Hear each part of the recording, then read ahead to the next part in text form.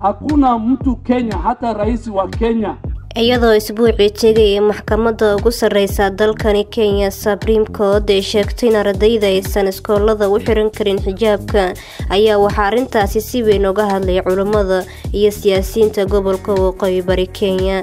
Aadan bare ducaale oo ah xildhibaanka laga soo doorto magaalada gaarisa ahna hogaamiyaha aqlabiyadda baarlamaanka dalkani kenya ayaa sheegay inaysan jirin ciddi ka hor istaagi karto ardayda inay xijaabka u xirtaan iskoolada hakuna mtu Kenya, hata rais wa Kenya hatuwezi atu, atulazimishe us to do something which is contrary to the Islamic teaching of the Holy Quran and the Sunnah of the Prophet.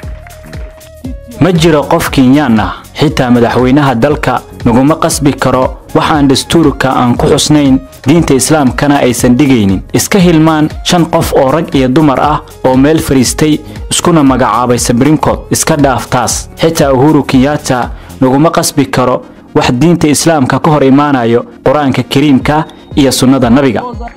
Mimi wajumbe, nimwambia msibabaike, wasichana wetu watavaa hijab, wapende wasipende. Gabdhaheenna way xihanayaan xijaabka ha jeclaadaan ama yaysan jeclaanin innigaynay taallaa